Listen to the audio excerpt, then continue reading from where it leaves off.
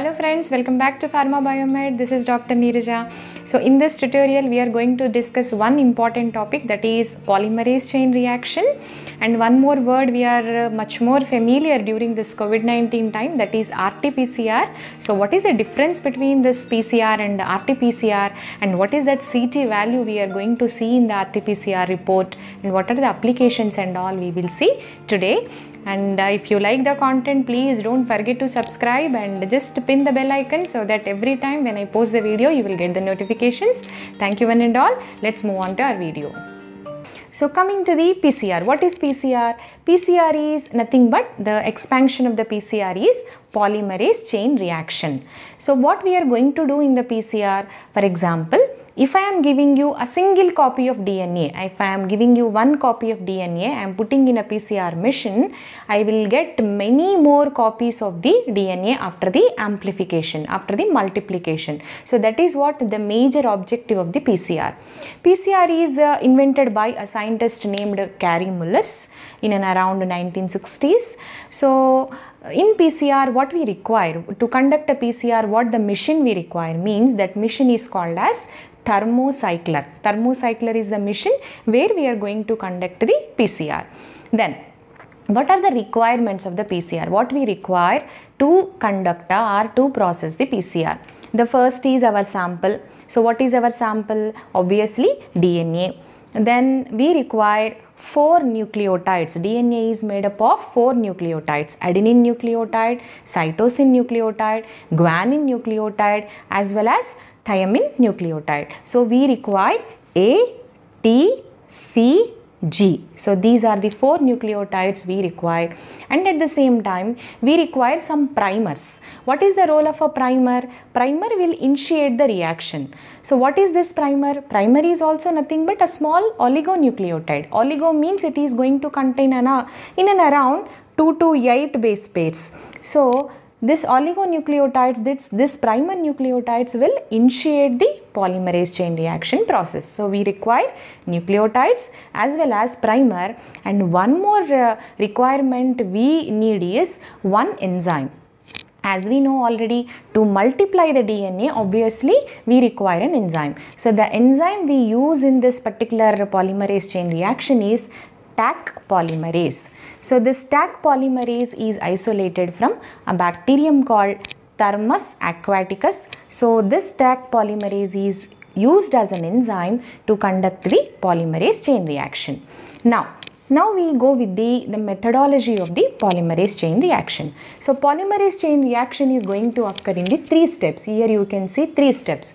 What is the first step? Here the first step is denaturation. The second step is annealing. The third step is synthesis.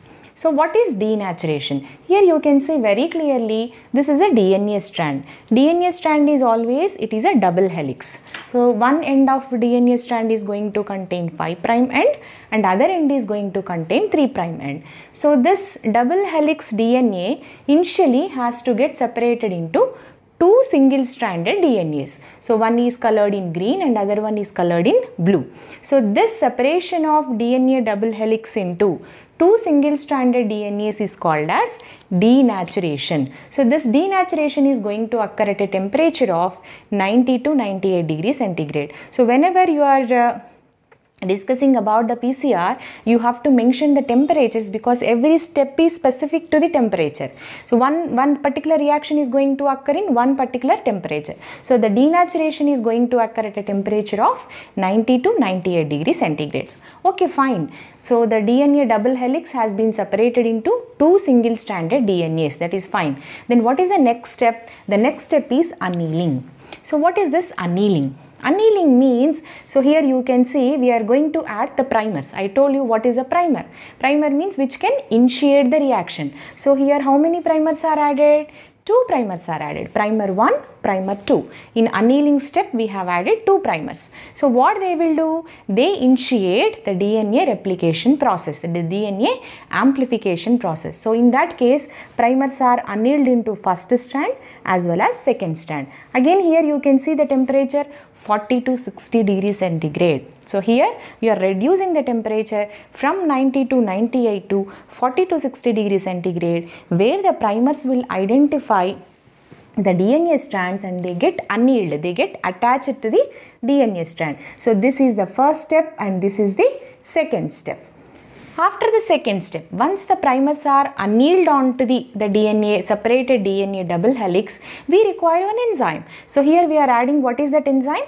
Taq polymerase is the enzyme. So this Taq polymerase is again going to work at the temperature of 70 to 75 degrees centigrade. Because it is a bacterial polymerase, it is going to be active and it is going to be stable at a temperature of 70 to 75 degrees centigrade. So here the synthesis is going to take place from one DNA strand another uh, new molecule is going to be synthesized. So here we took the one pair of DNA double helix. So from this again we got two new strands. So this is old strand and the daughter DNA that is produced that is of another strand that is nothing but new strand that means from one pair we got two copies of the DNA this completes the the first cycle of the PCR so we got we have taken initially one DNA double helix. From this how many pieces we got? How many pairs we got? Two pairs we got. So this is called as amplification process. This is called polymerase amplification process. So this is all about the PCR now, the very important point here we should understand is RT-PCR. This is more familiar word now. So, what is this RT-PCR? RT stands for the reverse transcription PCR. RT stands for the reverse transcription PCR. So, what is going to happen in this RT-PCR means in RT-PCR instead of the DNA. This is DNA, right? So, in RT-PCR, we are going to take mRNA. What is our sample?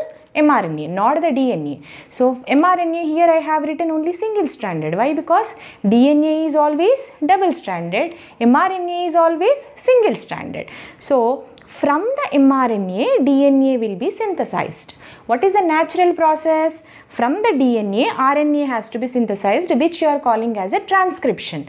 But it is reverse of transcription. From mRNA, DNA is going to be synthesized. Hence it is called reverse transcription and this method, this method of PCR is called as reverse transcription PCR. Now we have to understand why we use RT-PCR in COVID testing. Why? Because our COVID-19, our coronavirus is a RNA virus. It is going to contain RNA. So from our blood or from our, sorry, from any nostril swab, what is going to be isolated?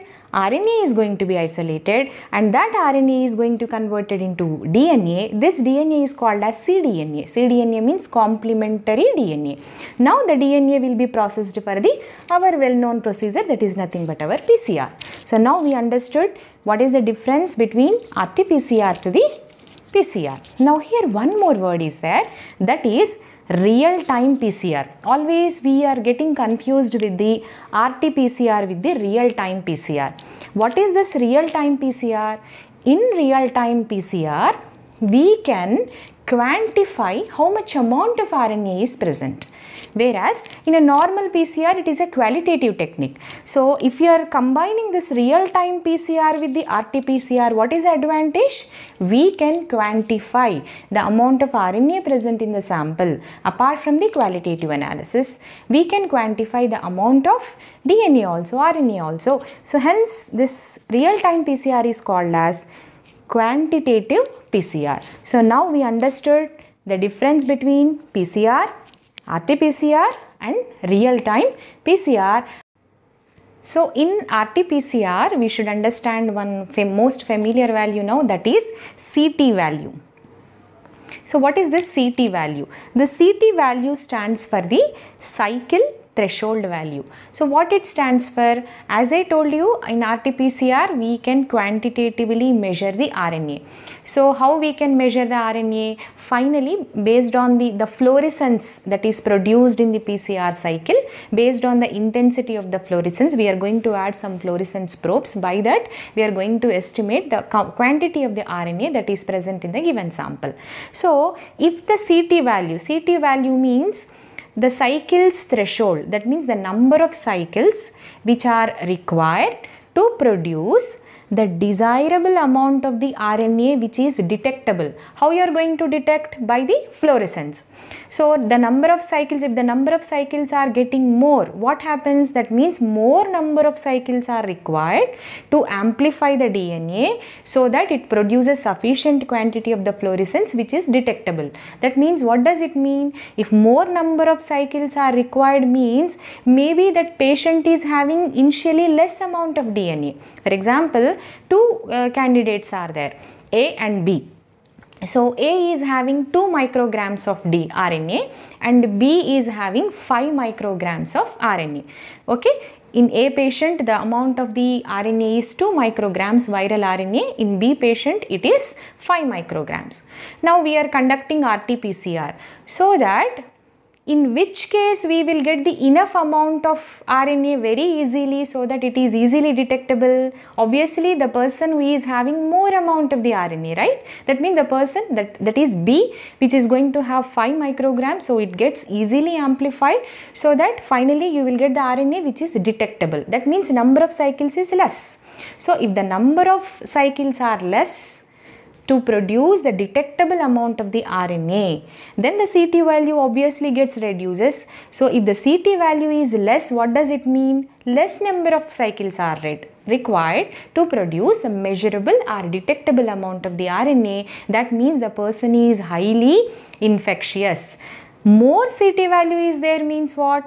More number of more number of cycles are required. That means less amount of uh, rna is there in the patient. So more number of cycles are required. That means the patient is less infectious. So in covid 19 we kept a cutoff of 30 so if the 30 ct value if the patient is having a ct value of less than 30 we are considering it as positive, if the CT value is more than 30, that means if more number of cycles are required, then you are considering that person's RT-PCR as a negative thing. So now I think you understood what is the importance of the CT value. Then coming to the, the applications of this PCR and RT-PCR n number of applications are there. PCR is used for the amplification of DNA and RNA. PCR is used for the DNA polymorphism. DNA present in different forms can be detected by the PCR. DNA sequencing. We have to sequence the DNA. That is also can be done by PCR. DNA fingerprinting. Fingerprinting is also done by PCR. If you want to see the sex of an embryo, again you can take out the DNA and you can sequence it and you can analyze the, the sex of the embryo also by using the PCR. And one more important thing is transgenes that means the DNA that is transferring from the one cell to the another cell. Those are called transferable DNA transgenes so you can identify the DNA, uh, DNA transgenes again by using the PCR these are all the applications of PCR as well as RT-PCR I hope you understood the content. Today we understood what is PCR RT-PCR and what is CT value. If you like it please subscribe share and post it to many more. Thank you one and all